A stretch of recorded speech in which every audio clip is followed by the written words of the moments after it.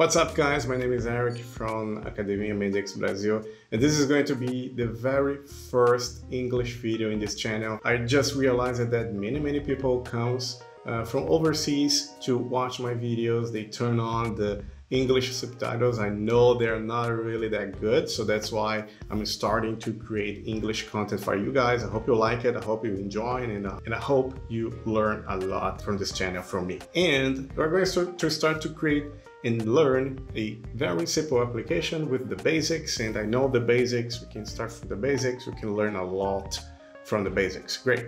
Um, but before we continue, before you go for the real thing, I ask you to subscribe so you won't lose anything new from this channel and also give a like to this video so we can spread, we can share this video with more people that might be beneficial to them. So please give a like. All right, so let me just stop talking and actually talk more about what we're going to do. Let's go. Great, uh, we're going to do a approval app. We're going to actually develop an approval app. It's going to be pretty simple, but as I said before, we're going to learn a lot with this app, the basics of a Mendix application. So those are the stories we're going to tackle. So basically, as an admin, I want to create new products, create new users or edit new users, and also create and edit new customers. So in a domain, we'll have three main tasks in the application. New products, new users, and new customers.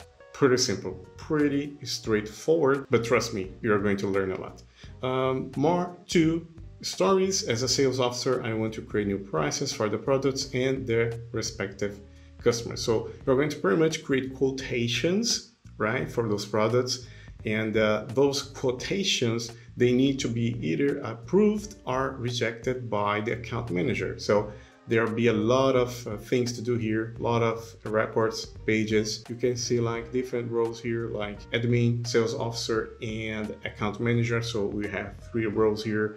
It's kind of a complex application despite being pretty small simple but it's kind of a complex. Uh, and again you're going to learn a lot with this. So Let's get started. Let's create our app. Awesome. We are using here Mendix 10.8, one of the latest versions of Mendix. If you're using a newer version of Mendix, that's fine. Uh, you can freely follow this uh, tutorial, this uh, playlist, and you're going to do things just like we're doing here. That's fine. Um, first, let's create a new app. Let's click here, create new app and uh, we can select this template right here which is the blank web app. Awesome. And let's click here. Use this starting point. We click it. And we're going to give a name to this app which, which is going to be approval app. Uh, let's make this yes because we're going to store our application into the uh, Mendix team server English is going to be the language and the app directory you don't need to change. Let's go to create app and right now we are going to download the template, create our app and upload this app like the very first commit of the app to the Mendix team server. It might take a while, it might take a few seconds or minutes depending on your laptop of course or desktop. So let's just wait. Our app was just created. Uh, we can even start playing things here like uh, clicking on that green arrow button, but we're not going to do this right now. As I said, we have five stories and we need those stories in our board of stories so we can really work on them just like a real project. Let's go then see the Excel file with the stories, which is this file right here. No worries, this file you can download in the description. I added a link there so you can download and you can open in your computer. Um, and what we're going to do here, we need to import this file into our board of stories. So let's go to the Mendix Sprintr, the Mendix portal, and let's create our first epic. Great, from the uh, Mendix portal, you're going to click on approval app. It's going to show you uh, the buzz of your app. And here on the left side, let's click epics. And once we open this page and let's go to the top right, create epic. But what is an epic? An epic, it's a, a collection of stories. It's just like a really big story, uh, so big that we cannot just like have that big story. We can split that big story, which is an epic, and stories. So that's why it's an epic. Uh, let's create the epic name approval app. We can add a goal here, a objective like develop an approval app for learning purposes, right? We can assign this uh, epic to yourself, in this case for me, and let's just create this, save epic. Awesome, and we have our first epic. Let's copy this text right here, app-app-1, and let's go to the Excel file, because here in this column, we have to paste that epic ID. So when we import this Excel file, we're going to automatically assign those stories to that epic. So let's click one by one here, each one of those cells, place it here. And there we go. We have the complete file. Let's close this file and let's go back to the Mendix portal. And uh, once we're back, we're going to planning. Let's here on the top right, click on those uh, three buttons, import stories. Let's browse and find our file. Yeah, user stories, great, continue. There we go, we have our five stories, continue. There we go, import finished. And here are our five stories. Let's select one on one, one by one actually. And here down below, uh, we're going to select here next, next sprint. We just move then to the next sprint, awesome. And what we are going to do, three dots, start sprint, we're going to start our first sprint with uh, those five stars. The first sprint is going to be called, I don't know, app development. It could be anything. And uh, sprint goal, same thing, app development. Start sprint, and there we go. We have our five stories in our board. And we're going to start with this one. As an admin, I want to create new products. Let's just drag and drop. There we go. We have one story in progress. Let's go to Studio Pro. Let's go back to Studio Pro because that's where the magic happens. Let's go. Great. We are at the Studio Pro and let's have a look at our stories. Let's go here in stories. And uh, if you don't see this panel, just go here, view, click here, stories, and this panel here will be displayed. And let's just click on refresh.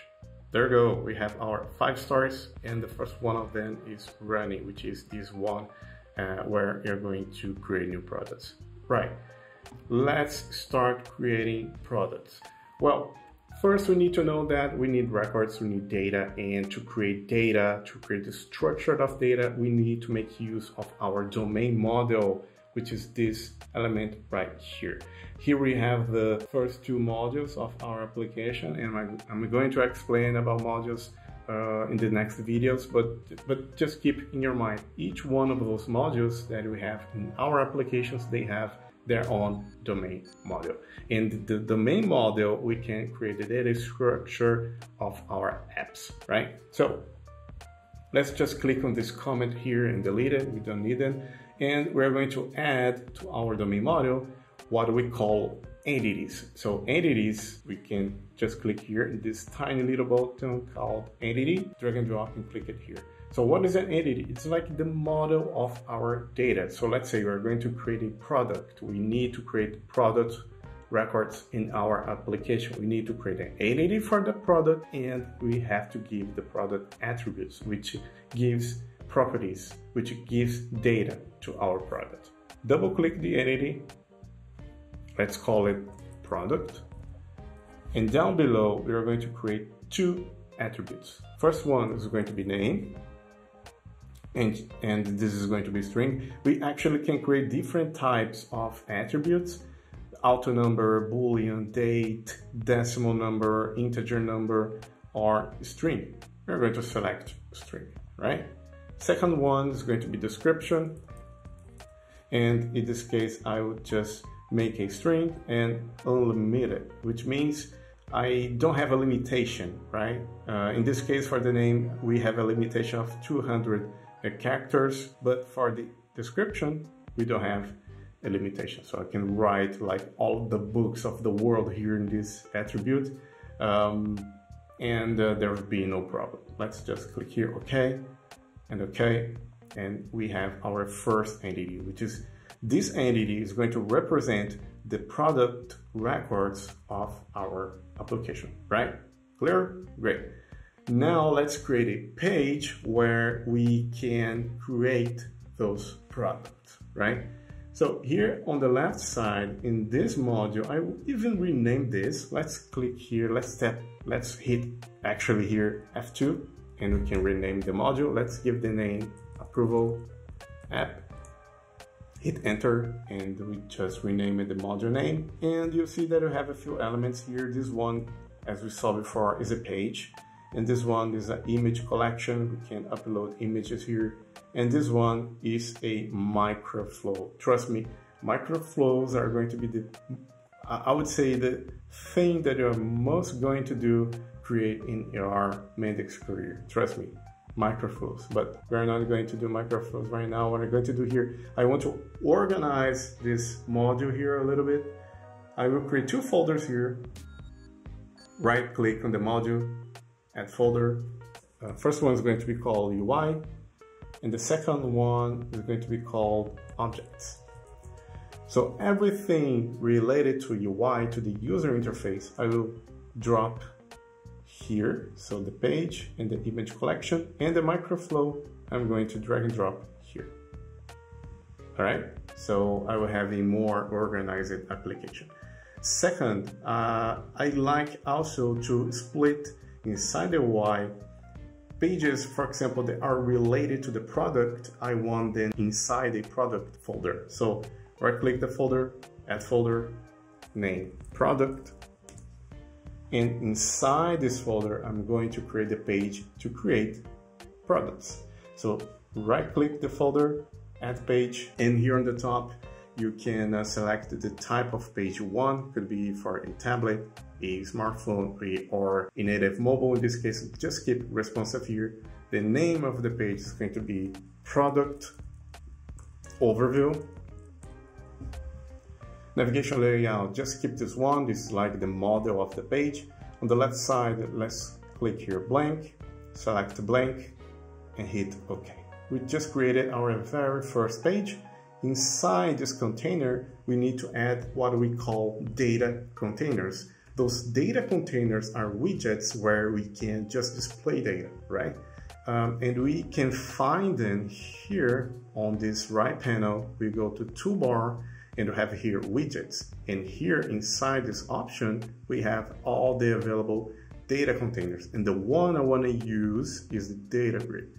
So let's click, drag and drop here, and that's it. It's pretty much like a table, right? Uh, where we can just show one by one all of the records of our application. And you see that we have an error here, which means we need a data source for this data grid. So double click the data grid, go to data source tab, and you can just keep select the database. Let's select the entity, which is the entity we just created, product.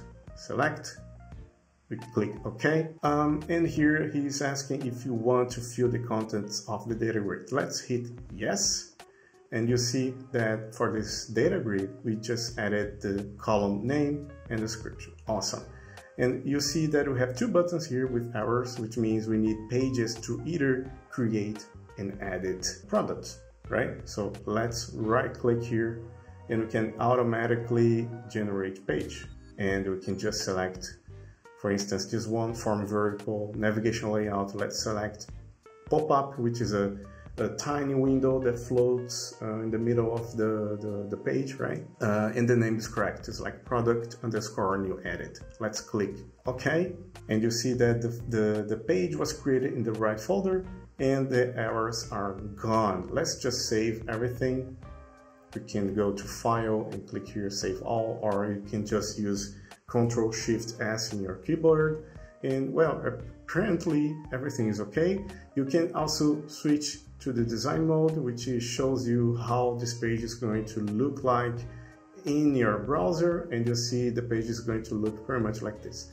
Well, we're done. Let's run the application. Let's see how the page behaves. And to run, you can go to this tiny green button right here, run locally. You just click it here and the application is going to run. So just wait for everything.